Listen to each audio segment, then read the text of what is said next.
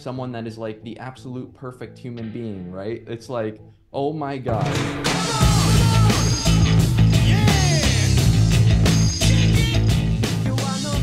Welcome back to the best leadership podcast ever, where every week we rethink your daily habits to catapult your career. My name is Jeff Matlow. I'm a leadership coach. I help executives and entrepreneurs overcome self doubt to become the types of leaders that lots of people want to follow. But this isn't about me.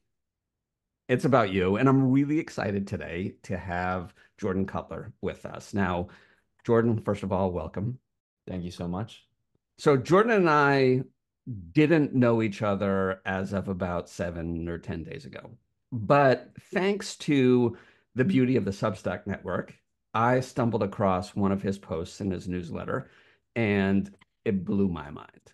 And just to give a kind of preview of what we're going to talk about, uh, and then I want to get some of your background, Jordan. But Jordan's got this uh, uh, newsletter called High Growth Engineer, and there's a article called Managing Up: Three Things I Wish I Realized Sooner. It is one of the best leadership lessons I've ever read. Period. So stay tuned for that. But before we get there, Jordan, uh, great to have you here. Can you just let everybody know a little bit about your background and the cool companies you've worked for and why yeah. you Yeah, for sure. So I write the High Growth Engineer newsletter. We uh, essentially it's a soft skill newsletter for software engineers. There's practically no code in it. It's actually read by a lot of people outside of software engineers as well, like product managers, designers, people in CX, or just leaders in general. And I talk about topics like managing up is one of the big ones. Influence is another one. And my background, I'm a senior software engineer at Pinterest. I have worked at Gusto and qualified recently as a Series C startup. I also worked at a crypto startup and a uh, while back was at Twitter before uh, all the Elon crazy. uh, but yeah, that's that's my background, and uh, excited to chat about this. I hope it's not hyped up way too much, but uh, I will do my best to uh, to deliver some crazy insights. You know, I I was actually thinking about this this article here, and um, and about who you're catering to. So I know it's engineers and soft skills for engineers, as you just said, but what level people. So my newsletter, the best leadership newsletter ever, is focused on managers and above. Who are you focused on in this? For, for me, I try to focus on the people that are one to three years behind me. So maybe a couple years into their software engineering career. Mm-hmm. But like a lot of things, people outside of that can get value from it. I mean, I get uh, comments from people that have been in the industry for 10 to 20 years and they read some of my stuff and they'll say, wow, like I've been in the industry for 15 years and I can't believe that I didn't think about this or didn't know this to this point. If I knew this 15 years ago, this would have right. just changed, it totally changed the trajectory of my career and put me on a huge growth path. So yeah. um, I try not to, you know, necessarily target people that are above me because uh, I like to you know try to get the people that are a couple years behind me to my level uh, yep. but i'm sure plenty of people outside of that will get value well listen i, I often get contacted by uh, people just graduating college or new entrepreneurs or something like that and and they ask you know for advice. And sometimes it's tough for me to give the good you know advice because of who i'm used to talking to which are a little bit more experienced you know? And what I realized is you're managing up uh, issue of your newsletter is the advice that everybody starting their jobs needs to know. I talk with so many people who have been in the roles for 5, 10, 15 years, and they still don't do it. I'm, I'm going to overhype it again. Uh, when you start your job, here, read this, read this issue, yeah, and these are the yeah. three things you need to know. So I want to jump in on these three and and yeah. let's talk one by one. And everybody get your notepad out and start taking notes. Give us the brief background. Why'd you write this article? And let's talk about the first one. Lead us into the first the first thing everybody needs to know. Yeah, I mean, I I wrote this article partially because I have started to take on more leadership roles myself, and it's actually something I want to do. You know, right now I'm a software engineer, so I primarily write code and do tasks that are handed to me from a manager or I would work with them, you know, on to do. But eventually I I always had wanted to get into management so that I could see things from their perspective. And I figured worst case scenario, if I ended up going back, you know, to software engineer, well, now I would know what it looks like from their perspective and how to be an even better software engineer on my side. I've already started to get a little bit of a foray into that recently through a couple things. I mean, I've organized like an internal conference at our company where I'm working with like 10 other people to to coordinate things. I'm working on uh, leading a internal hackathon where there's like you know 15 plus people on it. Uh, working on blog posts together with other people, and so I started to notice some things from the leader perspective that put a lot of the lessons that I taught a while ago and uh, giving me the background why like why should you be doing these things like for example why should i say what i'm going to do do it give updates and then say that i did it? I know that that's good advice but now i am actually experiencing how that would be so nice if the people that i'm delegating to did that for me. And so that's sort of some of the inspiration behind the article and the first point as well around removing uncertainty, which I, I can get into. Yeah, well. yeah, let's talk about it. So, uh, the one thing that everybody needs to do in their job in managing up is remove uncertainty.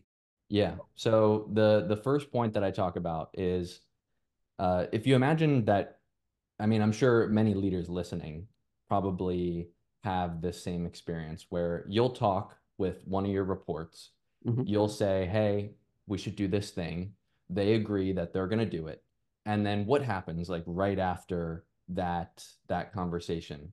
Your brain probably starts to go into question mode. Are they going to get this done? When are they actually get, are they going to get it done by the time that we agreed on? Are they going to meet the quality bar that I am expecting? can I trust them to deliver on these sort of things, or uh, do I just you know not have that built up yet? And so that sort of realization came to me when I started doing this delegation and some of the leadership uh, tasks that I'm doing right now, with you know organizing a conference and things like that.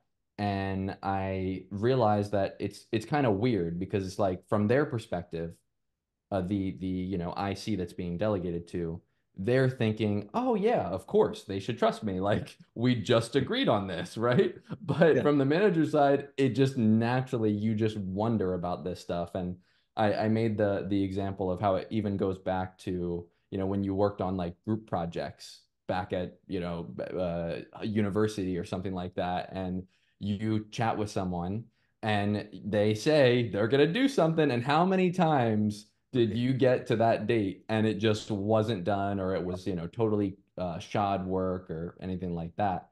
And so those experiences i think they probably manifest into uh, just a lot of wondering about what's the status on things? Is this actually going to get done? And if you're on the you know sort of receiving end the the direct report end and you want to manage up effectively then you should be thinking about what are these questions that your manager has in their head and how can you pr- proactively address those? So for me what i do is i every week i'll at the start of the week i'll tell my manager what my plan is how i'm basically going to impact the things that are their goals and it's going to you know we'll bleed into the next this this next point as well. Yep. uh, and then at the end i tell them hey i did this thing I did exactly what we agreed on. And if you do that enough times on a frequent enough basis, right? Because you can't do that, like, let's say at the start of the quarter and then at the very end of the quarter, and that, like, there's no updates in between. So I update them, you know, every week. So doing that, it, uh, it, uh, you know, builds up that trust where they can just say to themselves, okay, this is just a standard week, like any other week. Jordan's going to give me his update at the beginning of the week. He's going to do everything that he said he's going to do and then he's going to tell me that he did it and there's no reason to doubt him yeah now let me talk a little bit about the incredible importance of this and why it's a big problem in corporate America, I was going to say, but really in just every business out there. So I remember my first job, it, in the first like month, the the managers were saying how great of an employee I was, and I was confused by it, right? Because I did naturally the three things you're telling people to do here, which is say what you'll do, update them regularly, and let them know when it's done which seems for some of us intuitive. For many people it's not right? It's mm-hmm. it is the feeling of you know what? Just trust me. I'll get it done. But they don't always do that right? And so just by doing those three things you elevate your career right? Like i rose up pretty quickly because i got things done and i communicated about it now what this leads to is accountability that's what this is and accountability is one of the biggest problems in uh, in companies is how to keep people accountable. Because as one of my buddies, he has um, three letters in his office, DYS, which is do your shit, right? Mm-hmm. And the idea is just get it done, right? Like I don't want to have to harp on you. Have a course that I run, which is uh, how to 10x your team's productivity with accountability. And what I teach people are these three things, right? And empowering people to say what they'll do, update you regularly, and tell you when it's done. Yeah. And so for any manager out there, like you better be writing these things, put it on a post-it note because it's the difference in your career.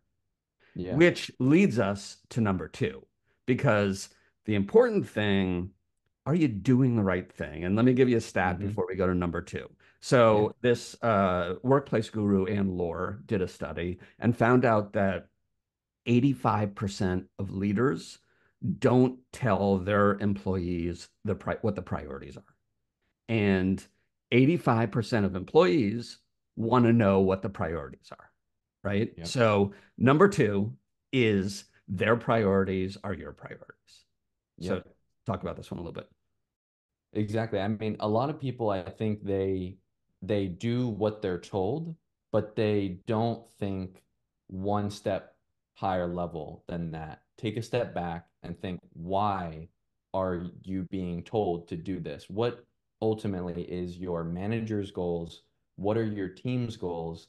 And how can you align what you do on a weekly basis and what you plan to do toward those things? And if you're constantly, you know, going back to point one, if you're constantly doing what you're supposed to you're saying what you're going to do and updating and all of those things are aligned toward your manager's priorities your manager just views you as someone that is like the absolute perfect human being right it's like oh my gosh this person is just doing everything that i need them to do that helps me out and uh, they're updating me as they as they do it so if i get any questions by let's say my boss then I'm able to say, hey, yeah, I know exactly where Jordan is at with this. I know uh, when it's going to get done, and he's he's updating me, uh, you know, probably tomorrow during his Friday update, right? His, his end of the week update. So I can I can even update you. I already know when things are going to happen.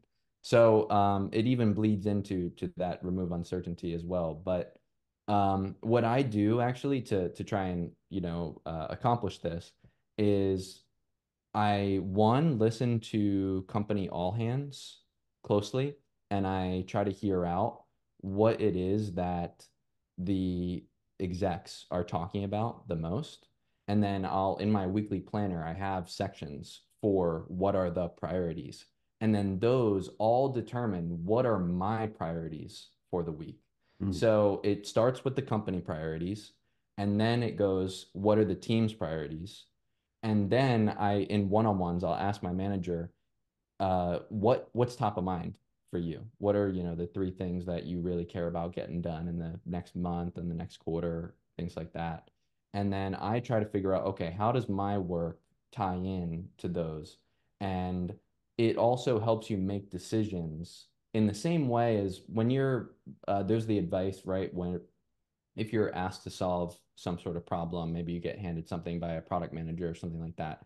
It's always the, the question, what's the why behind it, right? Because that's going to help you make better decisions. Same thing with your priorities matching your manager's priorities. If you know your your manager's priorities, with for the project. Let's say it's to improve developer experience. As a software engineer, I know then that I'm going to be making decisions that focus on the quality aspect for developers rather than just rushing to get it done. Maybe his priority is to just, you know, really rush this thing done so that he can get to the next thing, right? And then in that case, now I know, okay, all right, I need to skip a couple steps here. And I uh throughout the decisions of the project, I'm going to use that same language and even talk to him in that same way, right? Because it allows me to speak the, his same language. And I'll just say things like, oh, yeah, I, I know you, what's top of mind for you is to get to this next thing. So I'm going to rush past this step and that's going to help us get to the thing that, you know, you really care about over here. So it just, it feeds into all the conversations and all those things that your manager loves uh, that or they will love about you if you do this. Right. Yeah. And let me let me bring this back to like everyday life too. You know, the people you hang out with, your friends, the ones you like the most, are the ones that make you feel good about yourself, right? And the ones that uh, will help elevate you emotionally or whatever it is. You know, when what you're saying here, number two, is the same thing. Like your job is to help make your boss look good right? Mm-hmm. And so, in order to make your boss look good, you need to know what's going to make them look good. And I often tell people the most important question you can ask in a one on one to your manager is what are the three things that are keeping you up at night? They may not have told you before, and they may not even think you can help them. But if mm-hmm. those things are on your mind and you continually bring them up, even if you're not involved in them, like you said, like going to the one on one next week and saying, Hey, I know this was a big issue for you last week. What's, you know, how's it going? Mm-hmm. It shows that you care about their priorities and it shows that your your dedication and commitment to achieving the goals of the organization. You know, this is just not about managers. So, are the salespeople listening to this? Like these things all work for sales right? You want, if you're in the middle of trying to sell a prospect, going back to number one, you want to tell them what you're going to do. You want to update them while you're going to do it. And you want to tell them when you're done. And you want to know you're not selling your product, you're solving their problems, right? So you want to know what their problems are and yeah. how to solve those problems, right? And that's your goal. And so this one, uh, the way you think about it, the way you do it, Jordan, is just brilliant. And uh, I don't know anybody else who is who I've heard who's listening to all hands meetings and taking notes about what they're saying, but everybody should do that, right? Regardless of your level, because that's yeah. how you're going to move up, and that's how you're going to move up quickly. Absolutely, yeah. Um, that's all great calls.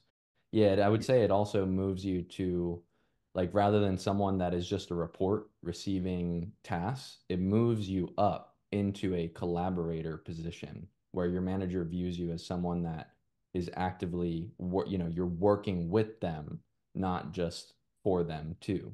Because if your manager is able to have those vulnerable conversations with you about what's keeping them up at night and you're able to help them either just through talking it through or actively working on doing those things then they're going to come to you for other things too, like the next big opportunity. Hey, I got this uh, the thing coming through the pipeline. Are you interested in it? And you're going to be the first one that they they come to as well. So uh, it all just adds up into this uh, bundle of um, you know uh, your manager trusting you and and giving you uh, some of the best opportunities and and uh, being willing to be vulnerable with you. Right, right. And so we've got removing uncertainty and removing the worry for the leader and then ensuring that you understand their priorities and and then understand that your priorities are their priorities mm-hmm. and that leads us to the growth mindset which is number 3 because once you know their priorities and you start thinking about them if you go the next level the next step and do things that you're not even asked to do it changes the game right? So yeah. talk about this one. Talk about this one a little bit. Yeah, I mean, uh, the way that I think about this one tying into the others is that things aren't always going to be perfect. You're it, we we definitely paint paint the sunshine and rainbows pretty well with the first two points. If you do these, you're gonna uh, get all these benefits from your manager, but you will mess up sometimes too. And I mean, first off, if you do the first two things and you mess up, your manager is going to be a lot more flexible with you than if you didn't do those things and you mess up. But the next piece is is that I mean, I've made mistakes where um, you know, I've asked for feedback from my manager and they've given me feedback. One example was they told me that I was moving slowly, like too slowly. And I thought to myself, how how could this be, right? Like I'm shipping so much code. If I look at, you know, if I compare myself to others on the team, then I can see that I'm doing a lot more. But it's not like you need to really think carefully about how you respond to that feedback because I mean there's it could go very wrong if you respond the wrong way, right? If you respond the wrong way, one, they're not going to trust you to to give for them to give feedback to you again. Mm-hmm. And two, they're going to view you differently as someone that is unwilling to grow as mm-hmm. well. Mm-hmm. And um, both those things can really break apart your relationship with your manager because if they're now unwilling to give you feedback because they're scared, well, then now if you actually do need to improve and they're too scared to give you the feedback, well, right. you're definitely not going to improve then. And so, um, uh, if you do the opposite, right, which is like understand their perception behind the situation, and not all feedback, there's like a difference between the reality versus perception as mm. well. Like mm-hmm. in my case, maybe I wasn't actually working slowly, but my manager believes that to be the case. Right. So I need to fix that perception problem somehow. And it might be things like um, being a little bit more visible, giving more updates about things that I'm working on. He might view me as working slowly because there's this other person that is giving him a ton of updates who is actually working more slower than me, but he's giving a lot more updates. So it just appears like he's working faster. So, yeah. so like there's, there's, you know, I ask myself that, that question when I, when I do get feedback, but overall, if you respond the right way, which is to understand their concern a little bit more, ask for some examples and ask how you can work to address it, and you show that you're constantly willing to grow and be better, then they're going to constantly be more willing, you know, they're going to be more open to giving you feedback, which gives you more opportunities to grow. And they also have their mindset shifted from you being someone who's going to get defensive to someone who, no matter what, if Jordan is messing up here, I know that he can get better and improve and work toward where I need him to be. So that's what the growth mindset piece is all about. Yeah, and again on the the article, you've got a couple of charts about mistakes and how to up your game with uh, by learning from mistakes. And what I always mm-hmm. uh, teach leaders to say and and to do, and in fact, it goes back to my how to 10x your team's productivity, is making mistakes is fine. Like, great, make mistakes, learn from it, right? So if you make a mistake once, awesome. You make it twice, why'd that happen? You make it th- three times, we got a problem now. Uh, everybody should be able to adhere to that. And I always tell my employees that in advance. Like, here's what it is. Like, I embrace mistakes because that's the way we learn. But mm-hmm. you got to be able to learn. and exactly. You got to have that personal growth mindset as well. I think most experienced managers have probably gotten to the point of realizing that they're never going to get a perfect employee Right. But they also need to see from your side that without that perfectness, you're willing to just at least work toward improving when you do mess up. So right. Uh, you just got to constantly show that. This is awesome stuff. I uh, I really thank you for first of all writing it. Um, I am sending it out to a lot of people, and uh, thank you so much. And um, yeah, and, and it's great. You have a new big fan in me now, and hopefully in others who are listening to this. Where can people find you? Yeah, on LinkedIn, search for Jordan Cutler or just Google high growth engineer and my Substack should show up. I write every week there. Concise article should be readable within five minutes. Usually has some visuals and diagrams to to show the concepts and it's perfect to share with friends like uh like you're doing so i really appreciate it yeah and i'll put i'll put all your information will be down below in the, in the comments and what i love about finding writers like like you, Jordan, is listen, I'm not an engineer. I know enough about leading engineers to have them really be angry at me. But uh, it's the same leadership concepts with just a different perspective, right? And so you don't have to be an engineer to be reading uh, High Growth Engineer, and you've got 40,000, you got a lot of followers. So um, everybody go in, be one of them. Also, if you like this stuff, go to bytitleonly.com and I've got my course on how to 10x your team's productivity in less than an hour. And uh, there's some more information there. I'm not going to go into it now. Thank you. I hope Thank everybody. You so much, Jeff. Thank you. It's been a pleasure. And uh, everybody, have a great day. Talk to you next time.